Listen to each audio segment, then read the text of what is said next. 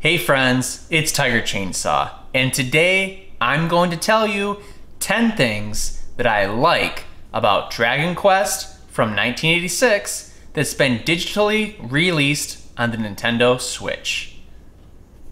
Hang on, my phone's going off. Hello? Yeah. No, what do you mean someone's already done this? Who? That mother. And he only did five each? That lazy SOB. No. Get my legal team. They can take care of this.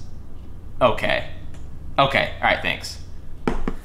Yeah, so that was my agent. Uh, apparently, Sega Blocks already did this, so you guys have to watch his version instead. Enjoy.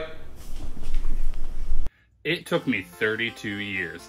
Yes, guys, 32 years, can you believe it, to actually play a Dragon Quest game. I recently completed the first Dragon Warrior and absolutely loved it. So here today, I'm going to talk to you guys about my five things that I like about Dragon Warrior. I like the backstory of how this all came to be. I like how uh, Erdrick had defeated the Dragon Lord and had to bring order back to the kingdom. I thought it was phenomenal. I don't want to spoil too much for new players, but I absolutely absolutely love the backstory. I like the plot of Dragon Warrior. I like how you're this just random warrior that shows up and you decide to rescue the princess Gwaelin and uh, take down the dragon warrior and you know collect all the um, armor and um, Erdrick's um, relics and his um, weapons and all that stuff. I thought it was absolutely phenomenal. It really had that like 80s, 90s like RPG feel to it. It was amazing. I liked the grinding in this game. Oh my goodness, guys.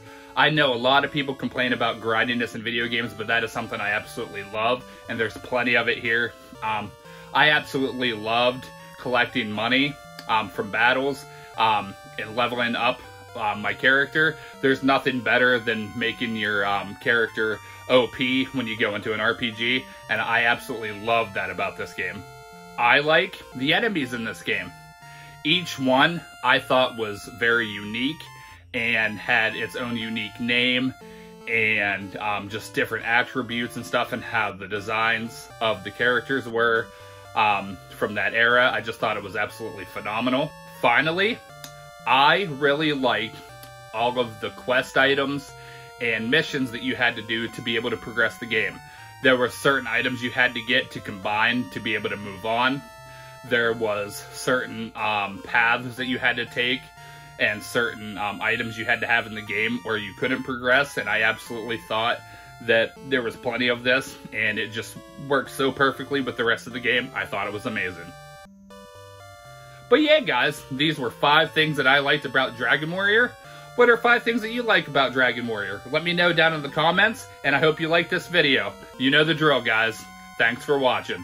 Stay awesome.